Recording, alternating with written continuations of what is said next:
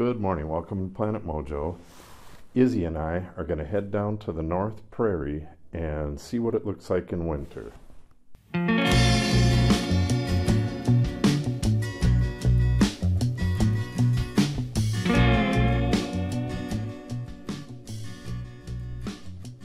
It's going to be a very interesting hike because it's really, really windy, like 20 mile an hour winds and we have at least two feet of snow out there.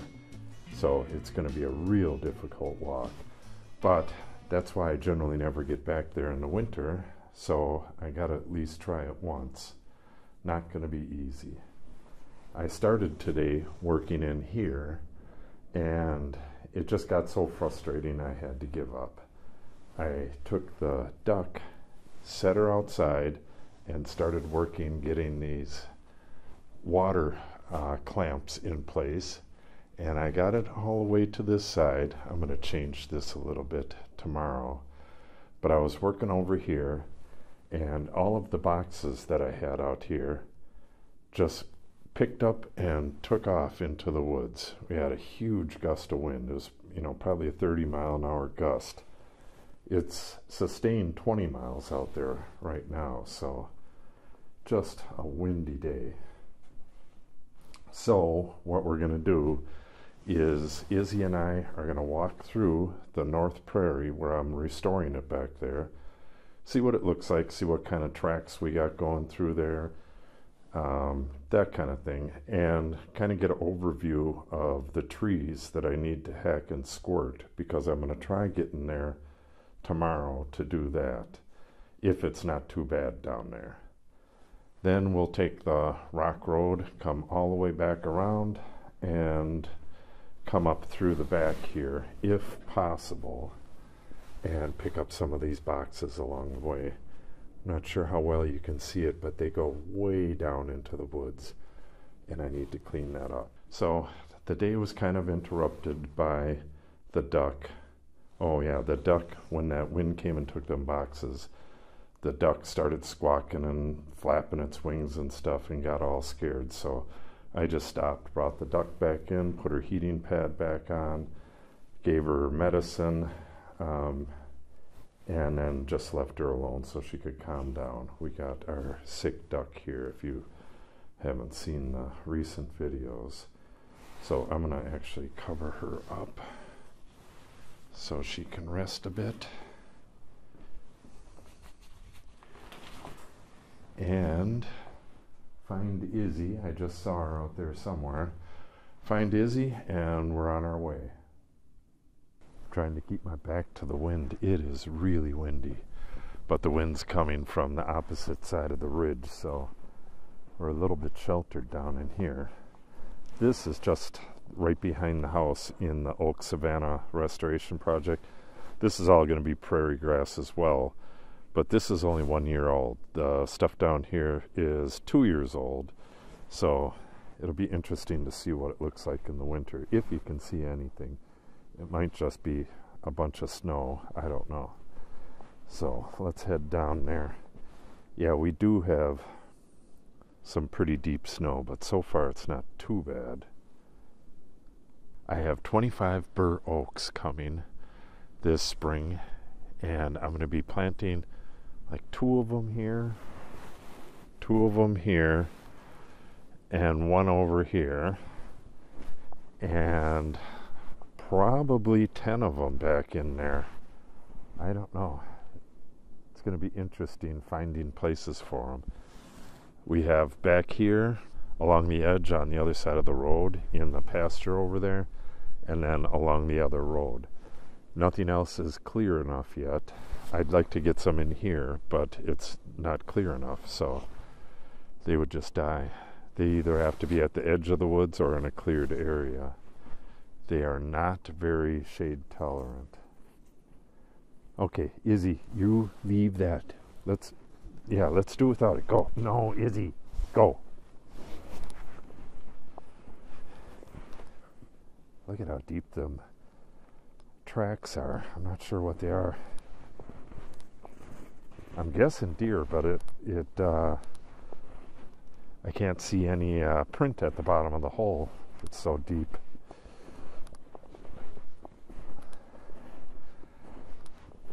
Yeah, this is going to be a little difficult.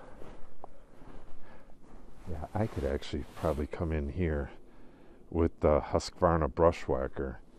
This is mostly just real little stuff.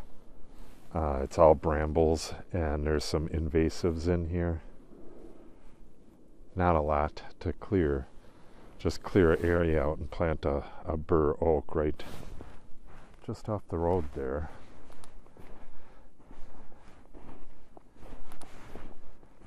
Oh, look at how deep that is. She's up to her belly.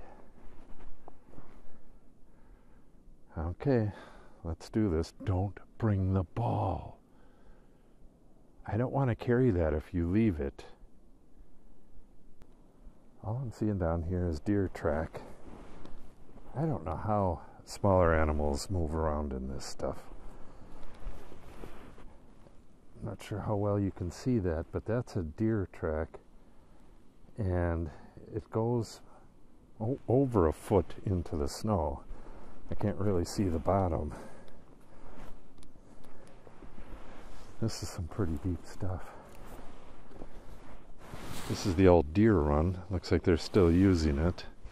And they're coming into the the prairie restoration. This is pretty much the beginning of the prairie restoration. Yeah, look, now we're going to have this ball out in the middle of nowhere, and I really don't want to come back for it.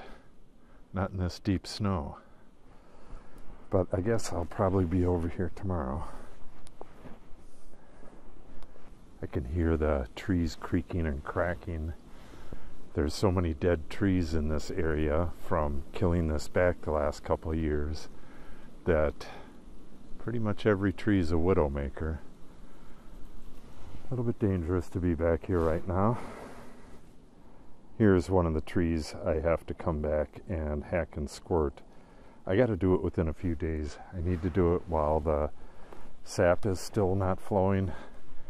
Ah, look what we have here. And any day now, it's going to get up pushing 50 in the next couple days, and the sap's going to start flowing up at least for a while, and it uh, kind of makes the hack and squirt less effective. Something bedded down right here. Look at how deep that is.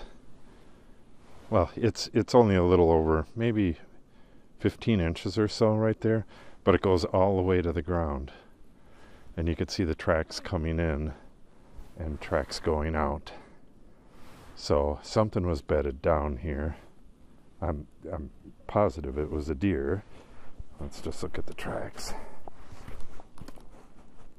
Yeah, it was a deer.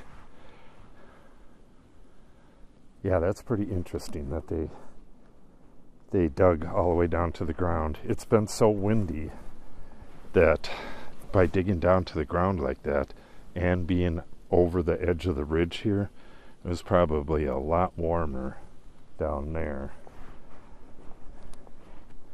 A lot of times you'll find where they just lay on top of the snow. I've already found a whole row of like belly imprints over on the back ridge over there, all right in a row. There was probably eight, nine of them of various sizes.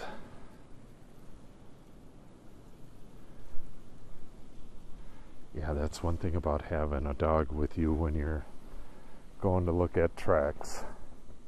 They kind of mess it up. Yeah, these are deer tracks right here.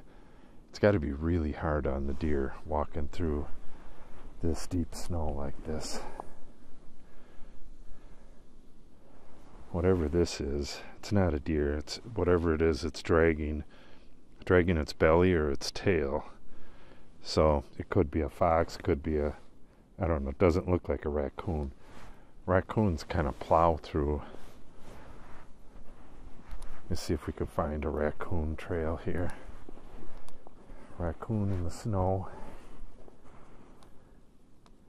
Yeah, and now Izzie's doing some of this stuff. Oh, she's hitting on something underneath that pile of stuff. What is it, girl?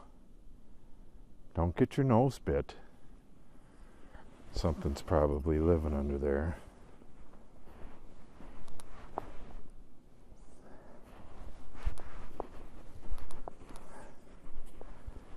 Yeah. Yeah, that's how animals got to move through this stuff. You could see how difficult it is for her, and she's not she's not tiny, but she's way bigger than a coon or a possum or something like that. I don't know how on earth they move through this stuff.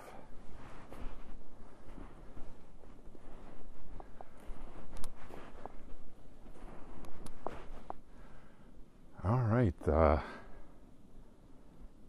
tracks pretty much disappeared. There's a little bit down that way, but up ahead, this is the prairie restoration right here.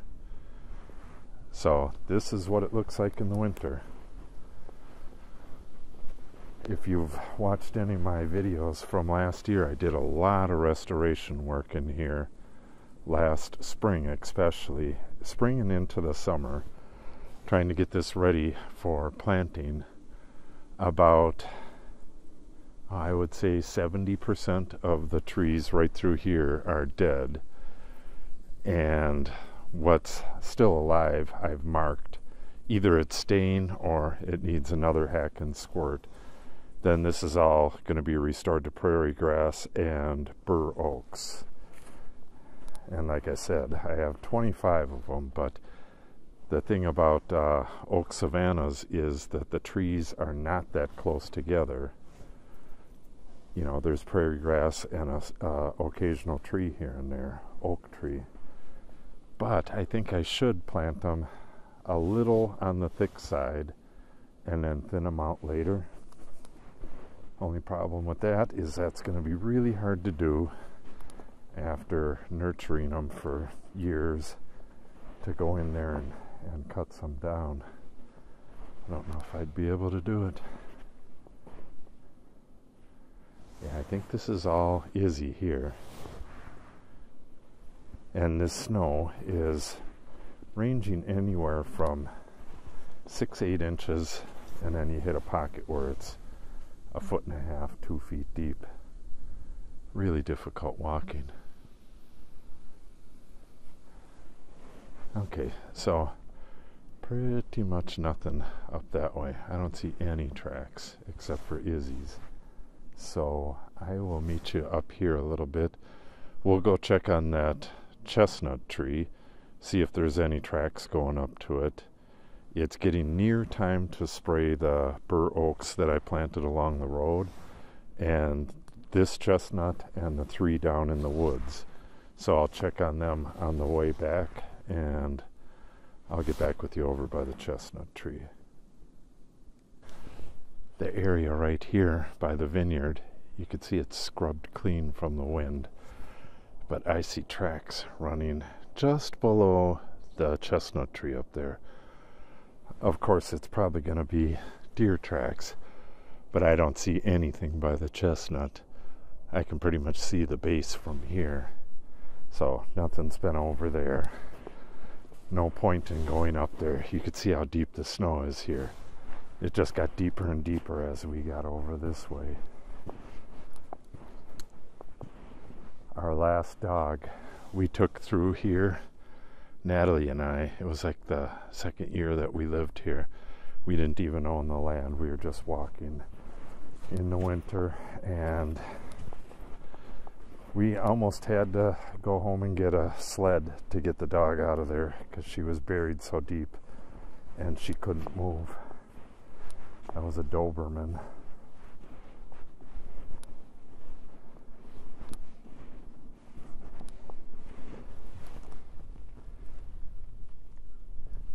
That's interesting.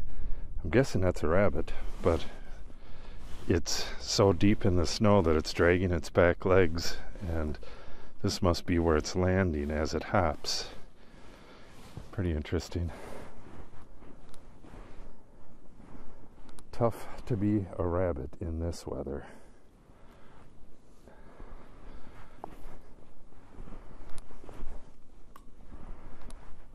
Okay, this is going to be tough. Let's do it.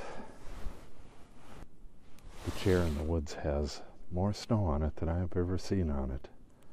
But again, when it gets this deep down here, I generally don't come down here. I wait for it to thaw for a few days like it will in the next couple days.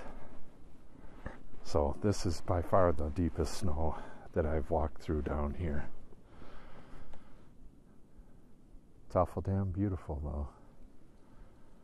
As long as I don't slip and fall and break my leg and get stuck back here.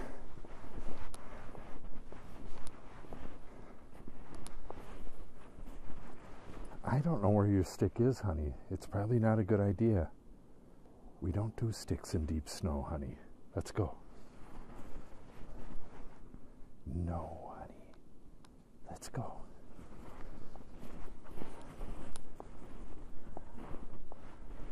That's a root. Oh, she got it out. She's bound and determined. I'll toss it later.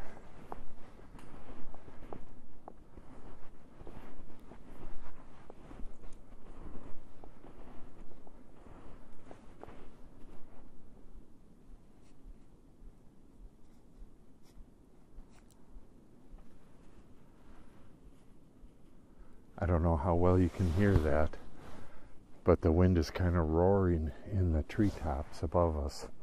But it's really nice and calm down here. Once I get back up to the top of the ridge, it's going to be kind of nasty. I can't wait till tomorrow. It's going to be warmer and way less windy. I get out here and do that hack and squirt. Oh, we can't keep doing this.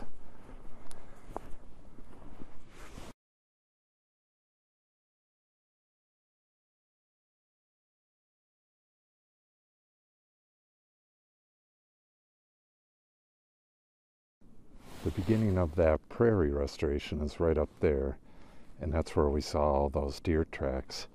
And here they come. Come right through here and on down the hill. Be interesting to see how many actually took the road. The road's right there along the ravine. Go check that out. She really, really wants me to throw this stick.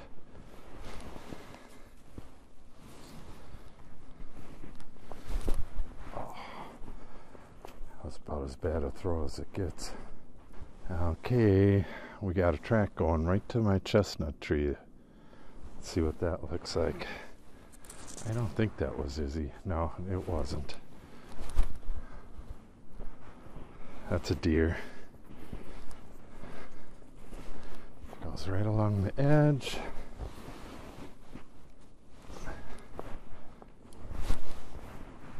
Oh, the tree's not here. It's up. Oh, the track goes right by it up there, too.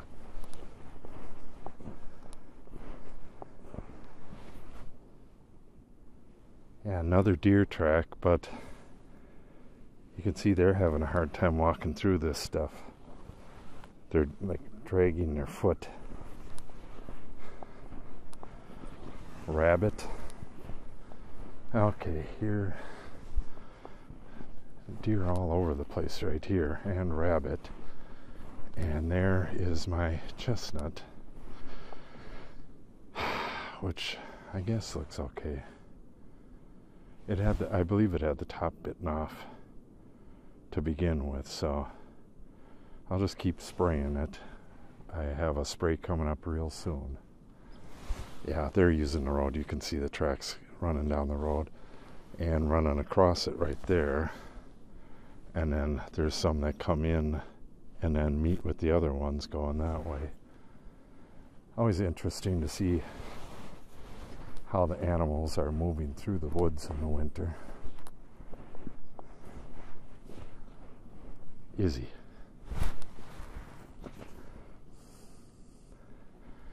This is going to be really deep and really nasty going up this hill. See if we can find something up there to look at. Well, we almost had a decent accident. I went to throw that stick and it snapped right at my hand and it went over the edge and she just about jumped over the edge to get it and luckily she listened to me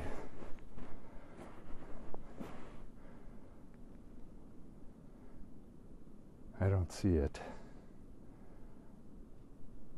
Thought, oh, there it is right there. But I don't want her slipping down. That's that's a a long drop down to the bottom. And with this snow here, she could go tumbling all the way to the bottom. We'll find you another stick, honey. No, we'll find you another one. Izzie, let's go. No, let's go. I know, honey. I gotta find her a stick. Wow, that was a pretty fun climb. On a normal day in the summer, you can get out of breath coming up this. It's about, you know, 100 feet up and it's fairly steep, but this snow is just so deep and it drags on your feet. I don't know how this dog does it, but this is definitely a lot better than paying money to go to a gym and go on a stair stepping machine or something like that. Do they even have stair stepping machines? I don't know, maybe. I know Natalie uses boxes. I forget what they're called. But she uses boxes for her training, for her high jump stuff, which is coming up in two weeks. Her training starts.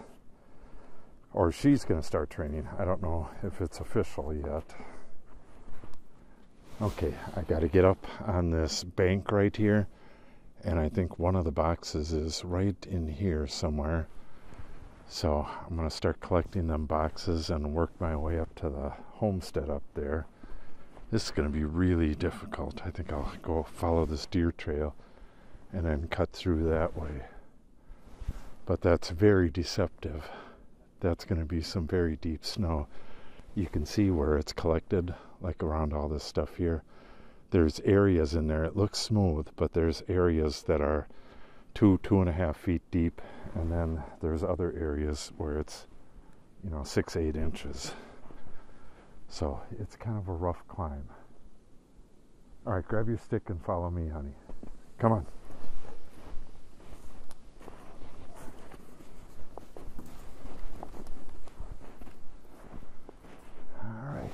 right through here. We have one of those holes in the snow. I still don't know what causes them, but you can see whatever did this, there's no like major prints going up to it. All this stuff is just from bits of snow falling from the trees. So whatever did it, did it from the underside of the snow up. And I don't know if there's a if there's a tunnel down there or if that's a vole, because the voles will go between the snow and the ground and they uh, make tunnels uh, under the snow like that in the winter. So it could be just where a vole ended his tunnel, and the snow is so deep you're not going to be able to see where the tunnel is. But I don't know for sure. I just know that they come up from the ground. It's not something digging, and a lot of stuff is ejected. You can see these leaves and stuff. Very interesting. If you know what does this, make sure you uh, comment in the comment section below. I would really like to know for sure. I'm guessing it's voles or moles, or possibly chipmunks. All right, it's going to start getting really windy, and the snow is really deep here. So I will get back with you in a little bit. That's deer running right behind the house here. Picked a pretty nasty place to walk. Kind of zigzagged and went around that way. Okay, let me get up this thing. All right, I'm trying to shield the camera and the microphone from the wind. It is really windy right here. I'm at the beginning of the boxes. There's that little one there, one here, and a good sized one over there. So I'm going to start collecting these and head up the hill.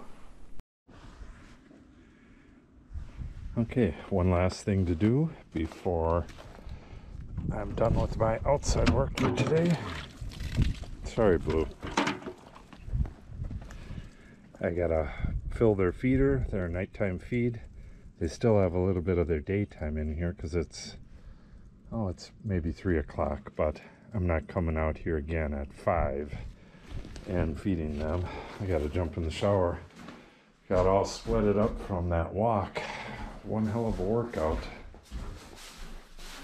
Not real sure how well you can see in here. This looks like their evening ration, so I'm gonna get this over on the on the table over there and then break it up for them. Okay, this is some really nice hay. I'm sure they're gonna love it. This might be too hard to do with one hand. But what you got to do is get it in here, and then it has to be it has to be broken up so that uh, it's not in uh, flakes like this. Otherwise, it's too hard for them to get it through the slow feeder down there. Sorry, big horse. They have very sensitive noses to dust, and I'm making a little dust here made him sneeze. You can probably wait until I'm done, Mr. Mark. Then you won't have dust. They are always so eager to eat. And anything new always seems like it's better than what they have. I guess they're just like humans in that way. But when they're in their when they're in their north pasture, they always want to be in the west pasture, and vice versa. The north pasture has their favorite type of grass, but this is so much bigger, so there's a lot more grass. So if they're in one, they want to be in the other.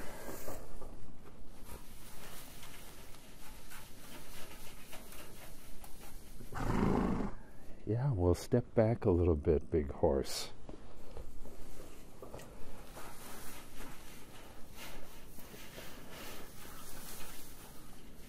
They say you shouldn't feed horses from a round bale. I guess they can get respiratory problems because they will hollow it out and have their entire head inside of it and it can get really dusty in there and with a big nose like that it's just primed for uh, primed for problems okay just about done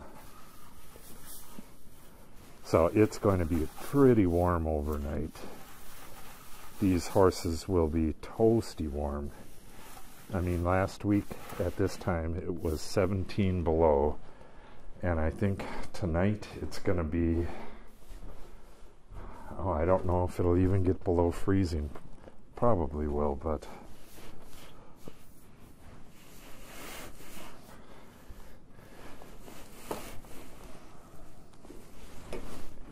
Okay, and then that'll work its way down as they eat it.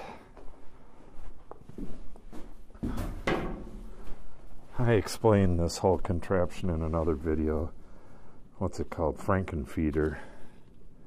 This was supposed to be built into the inside of the haymow. This was a temporary setup because we were approaching the end of the year, the year that we built this dry lot. And I had just built that, which was a lot of work. I started it in the end of August you know, and that's getting real close to winter, so I didn't have a huge amount of time to get that done. Then I had to put a railing on here and get this thing built for the winter, so I didn't get to build it in here, and now it just doesn't seem that important. I was going to have a table right here, and then you feed out through out through the wall. We might do it, but there's just so much other stuff that's more important right now. Okay, that's going to wrap it up for today. Izzie threw her ball by the fence and now thinks the horses are after it. so she wants to bark at the horses because she threw her ball against the fence. She's all worried about it now because apparently horses are ball stealers. Okay, now get it and get out of here. Go. Ball saved. Now she's just going to throw it again. Okay, that's going to wrap it up. If you want to see the progress here, I'll be doing the hack and squirt tomorrow in that deep snow again. And hopefully I'll be able to get back into the breezeway project soon once the girls get back and do something with that duck that's out there. So make sure you subscribe and click on the update icon so you're notified when I post new videos. If you got any questions or comments, make sure you put them in the comment section below. And if you give the video a like and or share it, it helps us out greatly.